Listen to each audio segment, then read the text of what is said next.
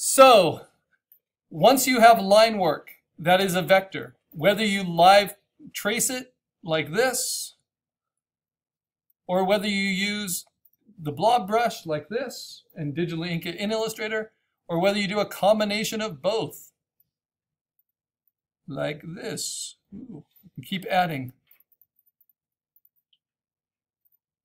Remember, this is not logo design, this is illustration. So you can have kind of too much going on if you like. Or it can be minimal, or it can be geometric.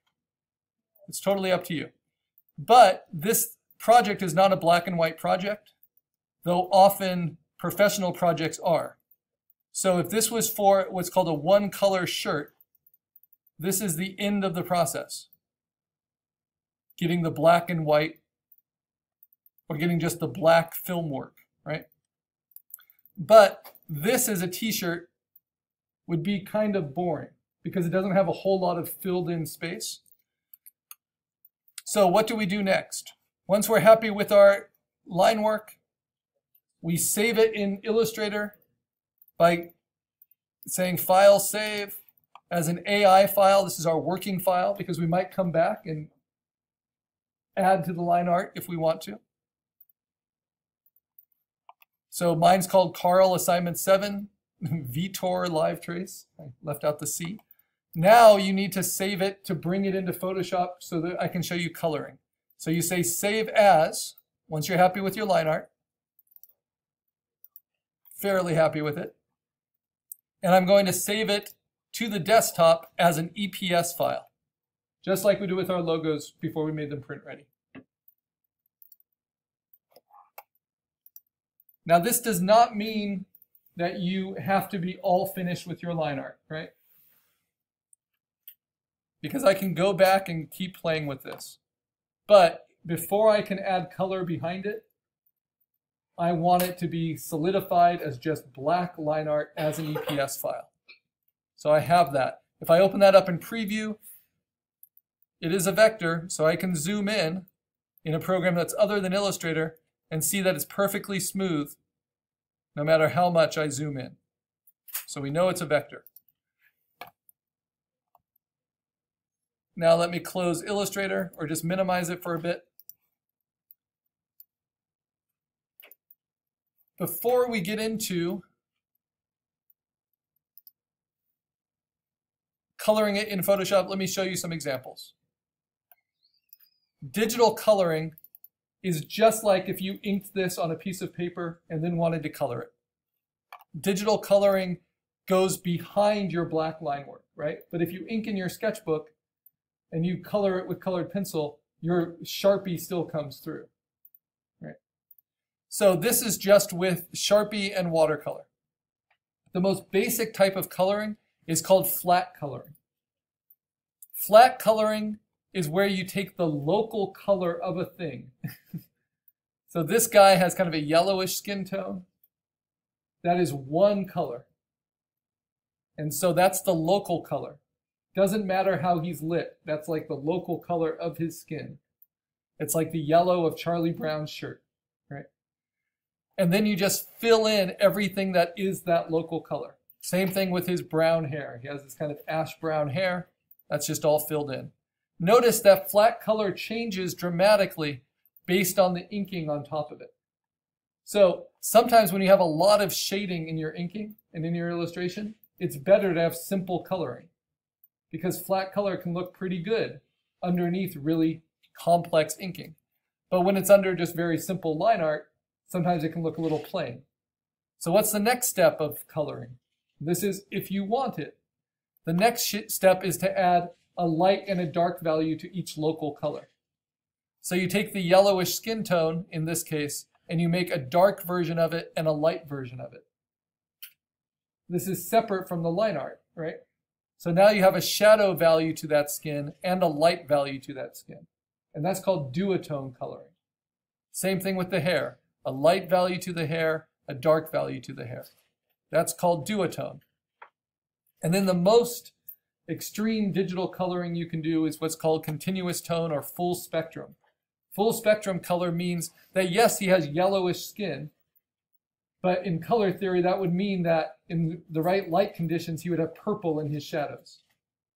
So this has not just yellows and dark yellow and, and light yellow, but it has purples and oranges in its shadows. And the hair has blues and purples in it. So it's like kind of just opening up the full spectrum to you. Gets really further away from the local color.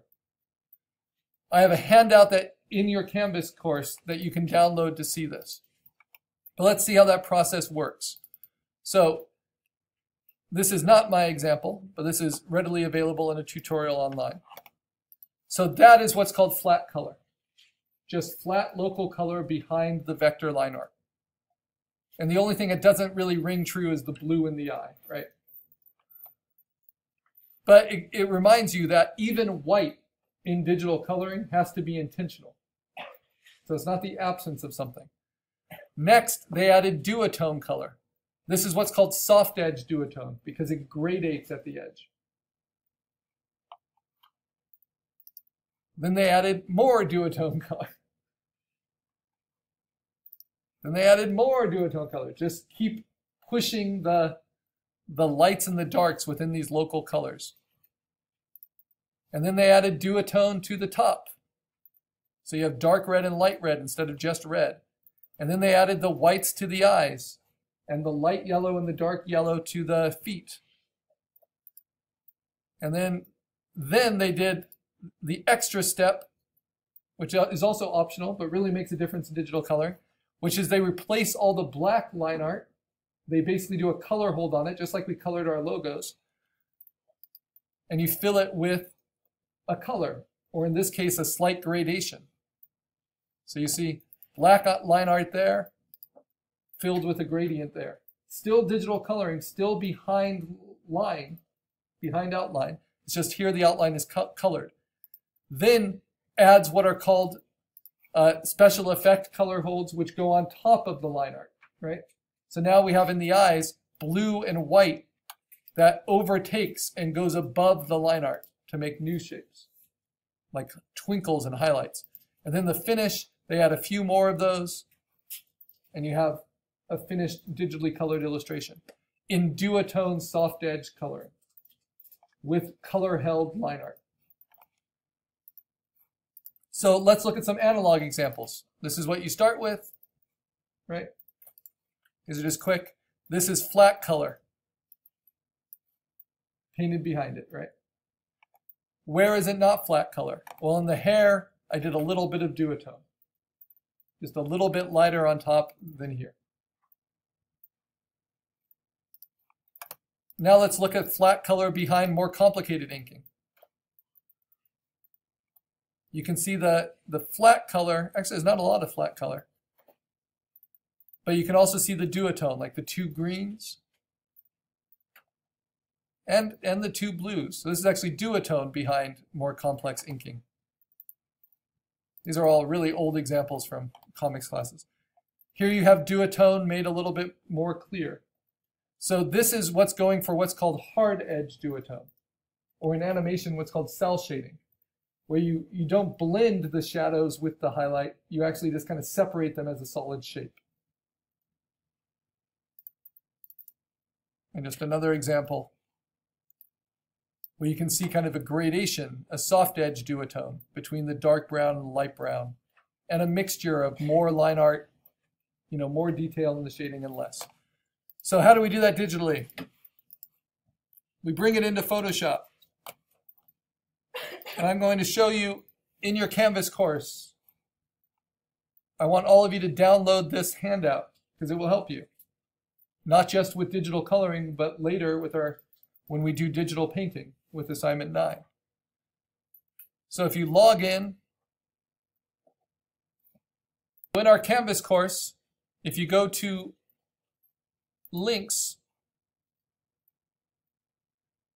you will see a few things that might be helpful. Now that we've been introduced to the blob brush and the pen tool, if you really want to practice and spend invest some more time understanding Illustrator, here's a nice little handout about shortcuts and about what the tools do and how you make the settings.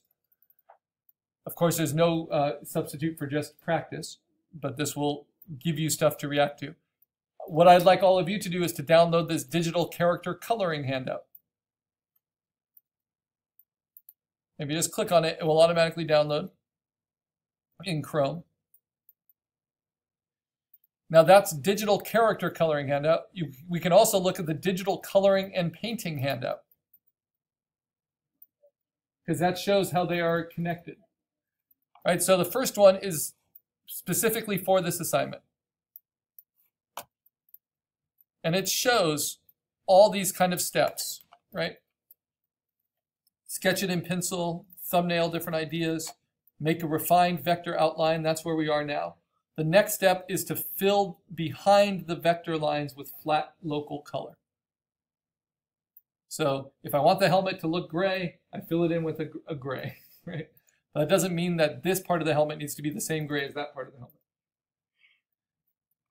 Then I might add what are called uh, cut edge highlights. So really sharp highlights are just added on top of the flat color.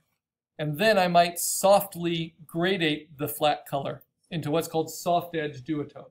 So I have a light and a dark within each of these local flats. Then I can do a soft edge overlay of highlights and broaden them out a little bit more. Then I can do that with the shadows as well. So I'm just contrasting the duotone more and more. And then to finish it off, I simply color the, the outline.